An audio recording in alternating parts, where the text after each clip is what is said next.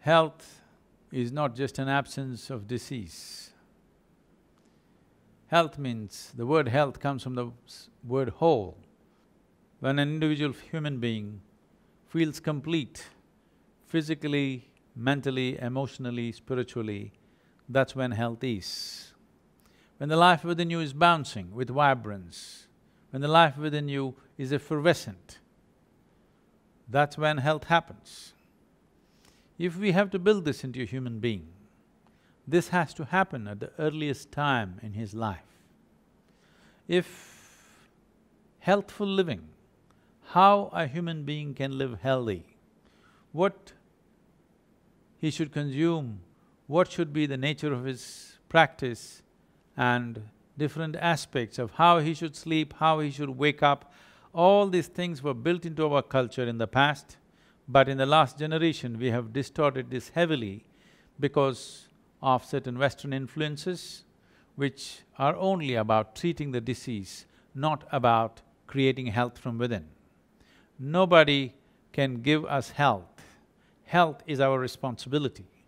This has to be brought into our curriculum, that every child in this country should learn how to generate health for himself not wait for a healthcare system to help him later in his life, but he must become the main healthcare provider for himself because health can only be organized from within. The earlier it is introduced, the better it is. It is important that we as a nation, all that we have is a large mass of people. These 1.25 billion people, if we have a healthful focused and inspired population, we as a nation can become a miracle.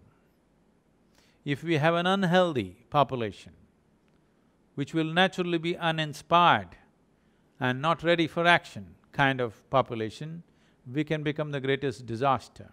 Right now, India is moving towards this disaster rapidly. It is time to turn it around by bringing healthful ways of living at the earliest point in one's life so the school systems, the education system has to introduce as to how a human being can live healthy.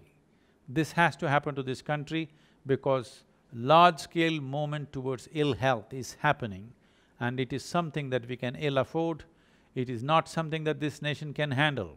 The richest nations in the world, like United States of America, their health bills are sinking their economy.